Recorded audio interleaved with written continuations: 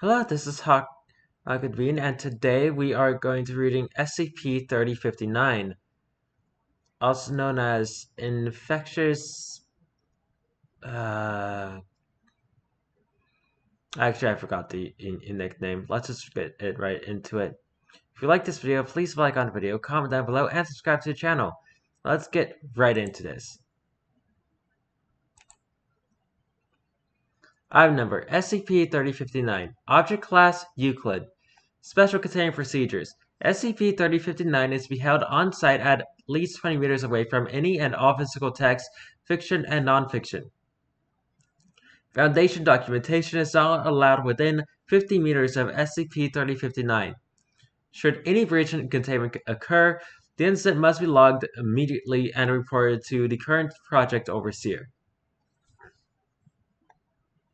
Description: SCP-3059 is an 18-year-old Hispanic male named Sam Michaels. SCP-3059 passively affects all fiction and non-fictional literature. Written digitally within roughly 20 meters of it. Affected text is eventually altered to include Sam Michaels in some form or the other, with text closer to SCP-3059 being affected at a faster rate.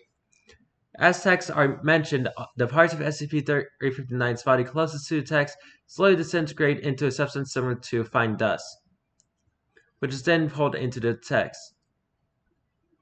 Collection of this substance has so far proven impossible. The rate of the disintegration is directly tied to the distance of a text to SCP-3059.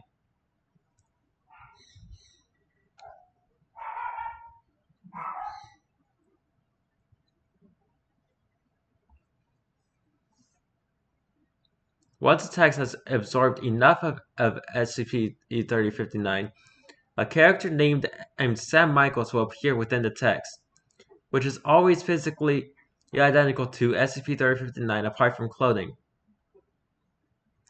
The parts within the text being depend on how much of SCP-3059 the text is able to absorb. Or the maximum amount of body mass as SCP-3059 and is able to lose any given text varies from text to text.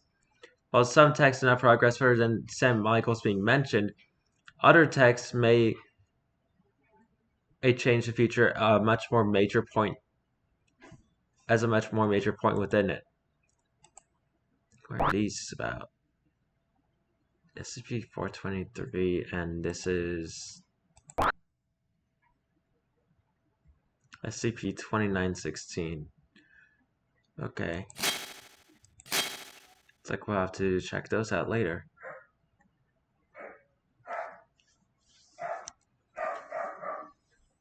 This process is permanent and is painful to SCP-3059. The Describes it as feeling as if it were actually losing the parts that were absorbed. All parts which no longer present continue to function as if they were still there. Currently, 23% of SCP-3059's body mass has been lost. SCP-3059 was discovered in a library in New York City, New York by police officers following complaints of a screaming man inside the library. After SCP-3059 was apprehended and taken into custody, it was identified by the John Smith Protocol and subsequently taken into Foundation custody.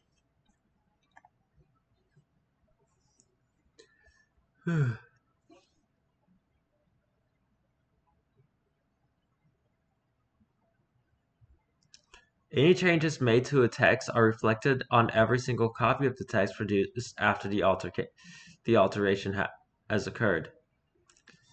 In certain texts, mainly non-fictional and historical texts, changes to it may also affect other documentation, creating fictitious persons in related media. These fictional people do not actually exist, with details about them often being obscure and vague, featuring only a single distinguishing feature or feat. Some examples can be seen before. For a current list of all affected texts, please see the current SCP-3059 project overseer. Type of text, fiction slash fantasy. Title, Harry Potter and the Order of the Phoenix. Author, who cares? They're er, er, or an objectively bad person anyway. Excerpt. Harry walks around on the other repairs, trying to correct those who were doing the spell wrong. Ginny was this teamed with Sam Michaels. She was doing very well, whereas Sam was either very bad or unwilling to jinx her. Notes, there are no other changes made to the text. Simply changing the name of the character Michael Corner, a minor character, to Sam Michaels. Type of text fiction slash historical. Title A Thousand and Splendid Suns. Author Khaled Hosseini. Excerpt. My name is Sam. I feel you should know the name of the person who must do this to you. I know you do not want to be here, and neither do I, Talib said. But this is my duty, Hamishara. So please kneel. Her Bible verse was interrupted. What do you mean? Mariam said. I know it hurts, trust me. I know, but please kneel here, Hamishara, and look down.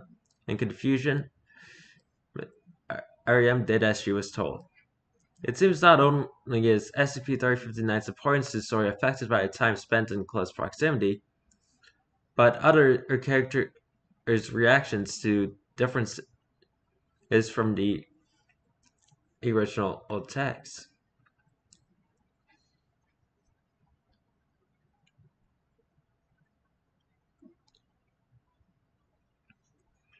Type of text dictionary. Title Dictionary of English Language and Culture.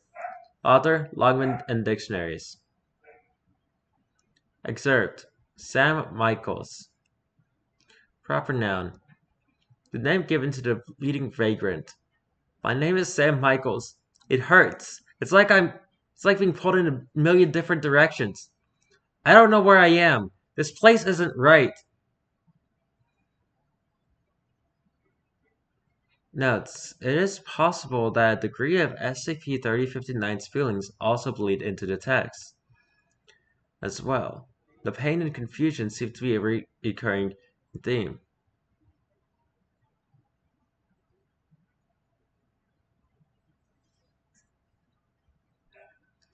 Type of text, nonfiction. Title, The Elements. Author, Theodore Gray. Excerpt. And I have to thank my good friend Sam Michaels. It was only with his help and love of the elements that I was able to foster my own. Sadly, he is currently going through great sickness, one that you don't recover from. I wish him luck in dealing with it and in what comes after.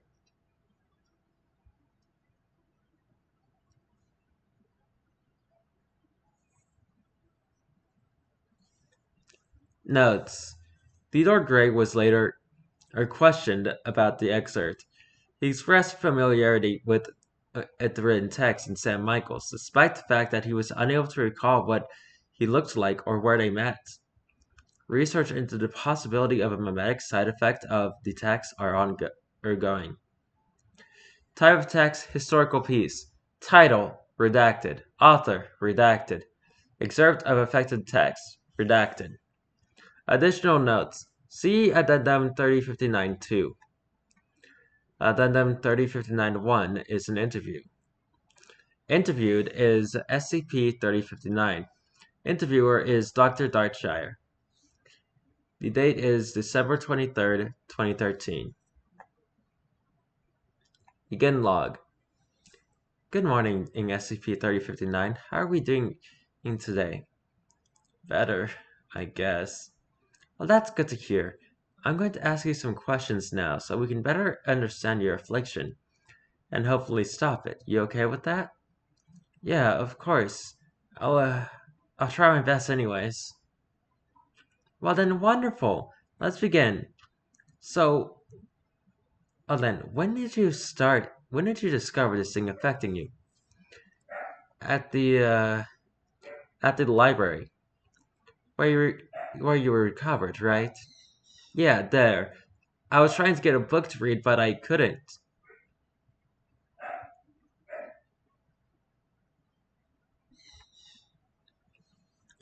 What uh, do you mean? Were you uh, unable to physically pick it up, or what? I could pick it up, but I couldn't read it. The words were there, they existed, but I just couldn't read them. It just hurt.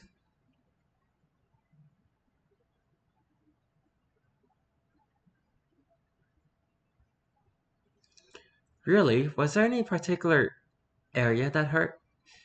It hurt? At first, it was just a dull throb in my hands.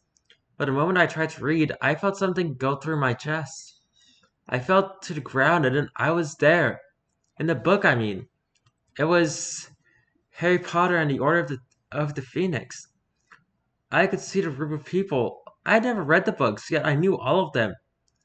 There was a girl named Ginny there, casting jinxes. The fire was vivid. I was there holding a wand. Then a haze as I saw a mother. Oh, there, black hair, green eyes. I remember friends, family, teachers. My whole life there flashed before my eyes. But that part, I don't know how to describe it. It wasn't a dream. It was real, but it felt like one. Then it all disappeared for a flash out somewhere else. I was on my knees and there was a spear through my chest. I was screaming and then breaking, then falling. I blinked and I was lying on the floor. I was bleeding everywhere. I called for help, but no one came. I tried to call out for my mom, but names kept popping up. I didn't know which one was right.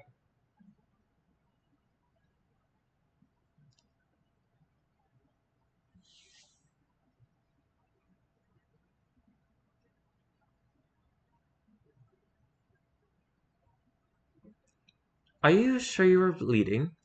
There were no reports of blood in the, library at all. I'm still bleeding. I don't know what it is, but it's blood. I bleed around books more strongly than anything else, but I'm always bleeding, slipping through the cracks. The only way to go is down. Alright, I think that's all we can get today. Don't need to press further. We'll see what we can do, alright? Thank you. End log. Addendum 3059 2. Incident Report 3059 1. Date October 13th, 2015.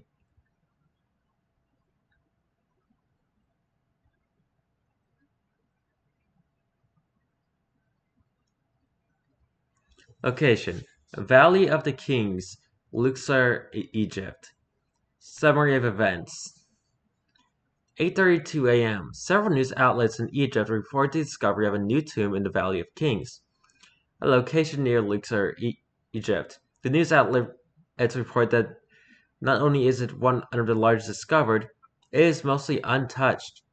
Foundation database intercept keyword Sam Michaels and takeover operations.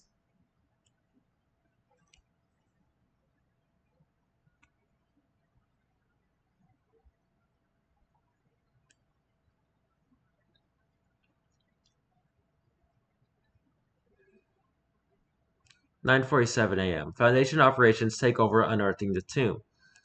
A small exploration team is sent in to determine any possible hazards. Once the team returns and gives the go-ahead, a full exploration group is formed and sent in. 10:11 a.m. Reports from the exploration team begin. The tomb seems unfinished, with many dead ends and empty rooms. All glyphs found this leading up to the main tomb are nonsensical. 11:58 a.m. The main tomb is identified. The door to the room features eight women and dead on the ground. In the middle of the scene, three women are holding spears through a man's chest. All the women are wearing identical clothing with some sort of bird mask.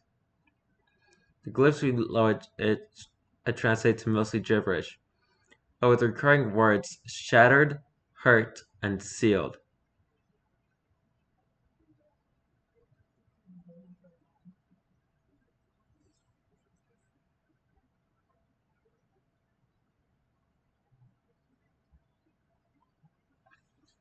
The team enters the main tomb.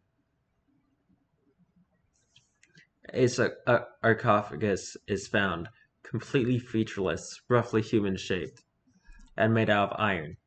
It lacks many of the features of other sarcophagi, having only a single layer and missing many of the features that would normally be found. The body found within is extracted from the site and sent to Site 19 for identification.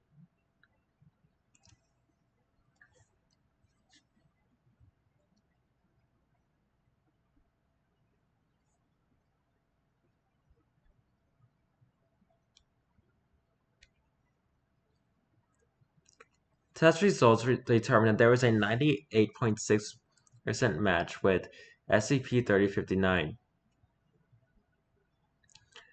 There's something wrong here. Not just the incident, but the entirety of SCP-3059. We're the only ones who have noticed any of the changes so far. Harry Potter is one of the most popular book series in the world.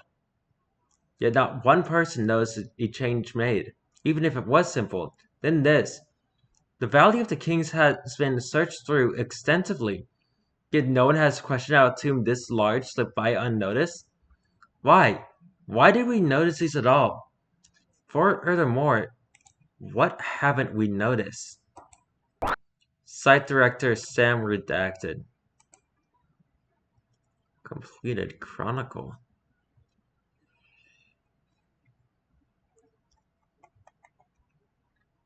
Oh. This is literally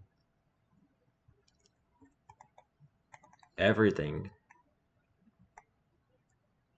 that Sam has changed. What's this one? Why is it taking so long to load?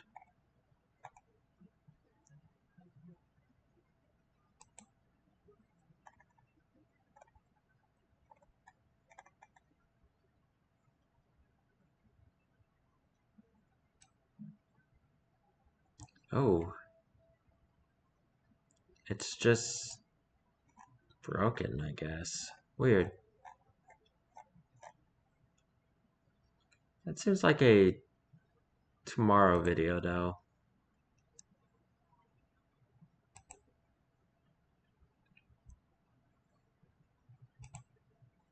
That was SCP-3059. If you like this video, please leave a like on the video, comment down below, and subscribe to the channel. We're going to be reading the completed chronicle of this SCP tomorrow. So until then, goodbye!